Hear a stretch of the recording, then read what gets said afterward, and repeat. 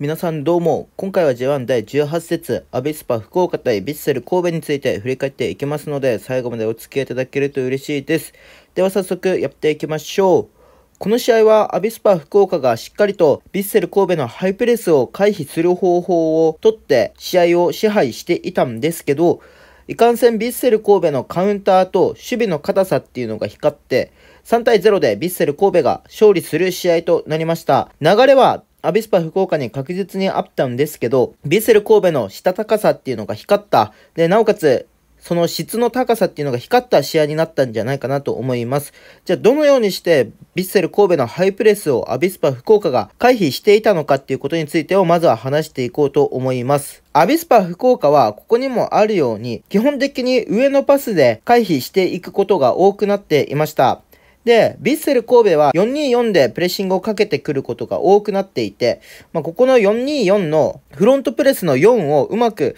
超えていくことで、この2センターハーフを晒すことっていうのができるようになっていきます。まあ、これはアビスパ福岡がロングボールをうまく使いながらシーズン戦ってきているからこそかなり効いた試合になったんじゃないかなと思います。じゃあどのようにしてそれを作り出してどのようにしてセカンドボールを回収していたかっていうと、まあ、基本的には三國選手、まあ、途中から井上選手になるんですけど、で、奈良選手、が、ウェリントン選手に向けて、長いボールを蹴ることが多くなっていきます。で、この時に、本田選手と競ることが多くなっていて、ここは確実に、本田選手対ウェリントン選手っていう構図を作り出したかったんじゃないかなと思います。で、その中で山岸選手が背後に抜ける要因を主に担っていて、で、今野選手が内側に入ってくる、逆だったら佐藤選手が内側に入ってくることで、セカンドボールへのアタック要因として、タスクを全うしていました。さらに、斉藤選手、山口選手が前選手、出口選手についていくんですけど、この時に、えっと、奈良選手、三國選手からボールを引き取るような動きをすることで、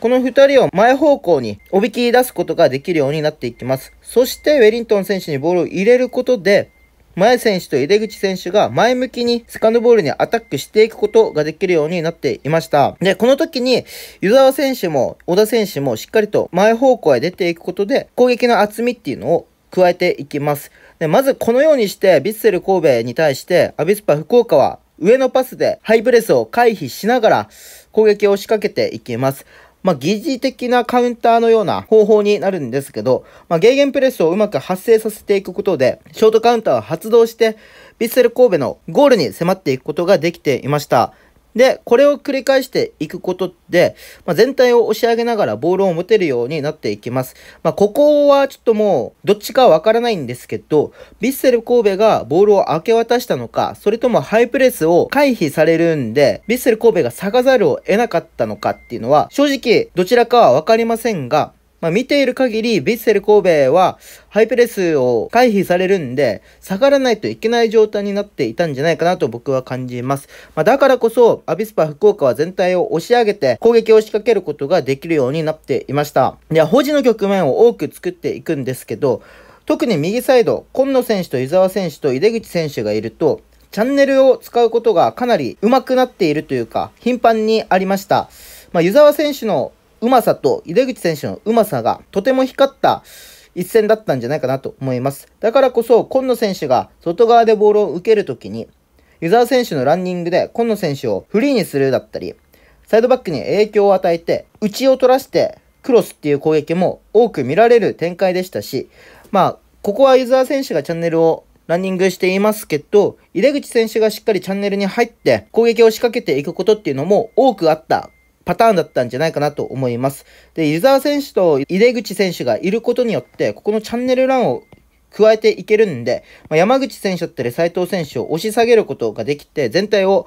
プッシュアップすることができたアビスパ福岡なんですけど、いかんせん大迫選手の質の高さ、まあ、ボールを収める技術と強さがあるんでで、なおかつ山口選手も武藤選手もゆるき選手も、もちろん佐々木選手も走力があるんで、一気に前方向のベクトルを作り出して、ロングカウンターっていうのも発動できていて、かなり効率よく、アビスパ福岡のゴールにビッセル神戸は向かうことができていたんじゃないかなと思います。はい。で、なかなかゴールが取れない中で、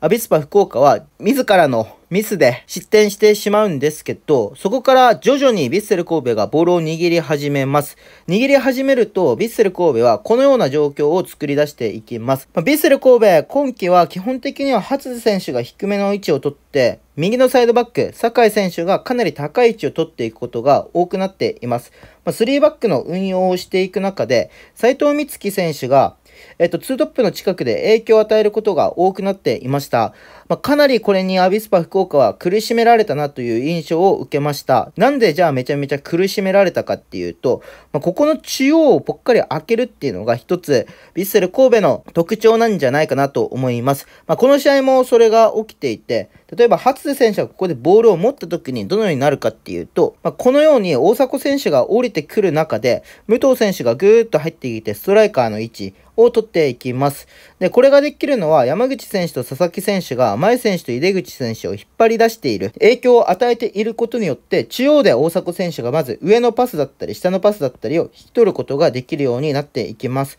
まあ、ここの引き取った先のフリックだったり、まあ、斉藤光希選手がいるんで、まあ、しっかりとレイオフを作ったりっていう形も多く見られますし、当然山口選手がここに入ってきた場合は大迫選手は残るんですけど、基本的には大迫選手がここに降りてきて、フリックで山口選手、まあ、もしくは武藤選手に届けていって攻撃を仕掛けていくパターンと、初選手からワンステップで酒井選手までボールを届けるこの対角のパスからの速い攻撃っていうのを仕掛けることが多くありました。まあ、だからこそアビスパ福岡は広げられることが多くありましたし、いかんせん大迫選手に対しての対応っていうのが難しくなっていて、で、なおかつ彼がめちゃめちゃ強いんで、ボールを奪い切ることっていうのは難しくなっていたんじゃないかなと思います。当然、三國選手も井上選手も奈良選手も大迫選手まで出ていくんですけど、まあ、そうすると、フリックでひっくり返された時のここのスペースっていうのが割と空いてくるんですが、ここはやっぱアビスパ福岡うまいんで、しっかりと埋めることができていて、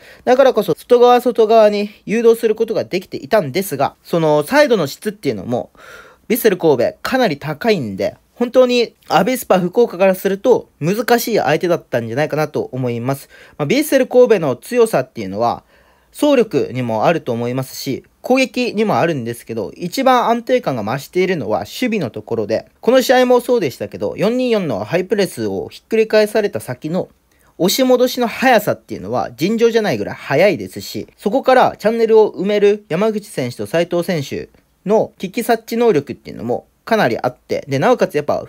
武藤選手と大迫選手が走るんで、他の選手も走らないといけない状況になっていますし、走ることによっていろんなことをうまく循環させているヴィッセル神戸なんですけど、そこにさらに質が加わっているんで、そりゃここまで強いよなっていうのがわかる試合だったんじゃないかなと僕は思います。はい。この試合も本当にヴィッセル神戸の強さを見せつける試合になったと思いますし、まあ、守備の安定面でもそうですし、9試合クリーンシートっていうのは偶然ではなく必然のものだなと感じる一戦でした。で、対するアビスパ福岡も上のボールの使い方っていうのは本当に上手で、まあ、ルキアン選手が入ってきてからサイドに流れる癖があるんで、そこでロングボールの引き取り方っていうのが変わって少し攻撃に停滞感が出てしまいましたけど、まあ、彼らのロングボールの使い方と、セカンドボールへの反応と回収するための方法っていうのはめちゃめちゃ面白いんで、ぜひ皆さんこの試合見返してみてください。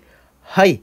本日も長々と喋らせていただきましたが、今日はこの辺りで終わろうと思います。チャンネル登録と高評価もしていただけると嬉しいです。ではまた次の動画でお会いしましょう。バイバーイ